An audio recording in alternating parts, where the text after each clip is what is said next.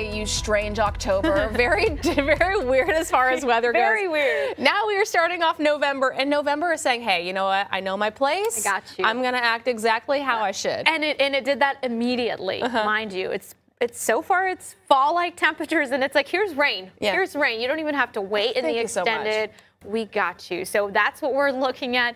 Some nice rainy conditions, fall-like temperatures. Our average dropping now 67, and then our average low at 45. But by the end of this month, we should be down as an average in the 50s. So it's just an indicator that we are slowly approaching those cold-like months. Of course, we are in November, almost there to December. Our sunrise sunset, which is interesting, is by the end of the month, our sunrise will be at 716 and our sunset at 509. We are losing daylight, but of course, we are still anticipating some good old rain. We may even end the month above average, considering this is our normal for the month, and we are looking at some very wet conditions. And of course, hey, look, we went ahead and added a normal snowfall. Not much, but we could, uh, it is common that we could see some a, trace, I should say. Of course, we're not uh, seeing any of that so far, but at least we are tracking some nice and needed rainfall. So Tulsa International Airport, all part of Wade's RV Weather Camera Network. It is a quiet and chilly start this morning. Tulsa, we're sitting at 44 degrees.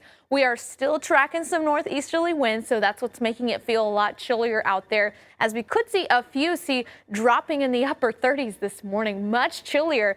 So as you have uh, heading off to work this morning, of course, those kiddos waking up thinking, what am I going to wear if you're waiting at the bus stop? Definitely bundle up this morning. I mean, it is still looking very pleasant this afternoon. Looking at a very fall-like day, which we haven't had in quite some time. Temperatures all across the area as a high is going to be in the lower 70s, so almost just a few degrees above our average. But then things really start to change going into this weekend. So if you do have Friday night plans, those look good to go. No rain chances, no issues whatsoever there. But looking at this weekend, we are tracking mid 60s, low 70s. But key here is all of this rain we're looking at. So early morning Saturday, going to be dry, but here's about 8 o'clock. That's when we're starting to see some showers and storms moving in. And then this line of storms is going to start to move in by about 4 o'clock. And this is what once this moves through, we're just going to see continuous rainfall as we look through Saturday night, early Sunday as well. Here's about 5 o'clock Sunday morning, so definitely have the rain gear on hand if you're going to any football games, any outdoor events, of, of course. And then as we look in terms of severe storms, we have to watch for Monday because that's when we have the chance here in green country.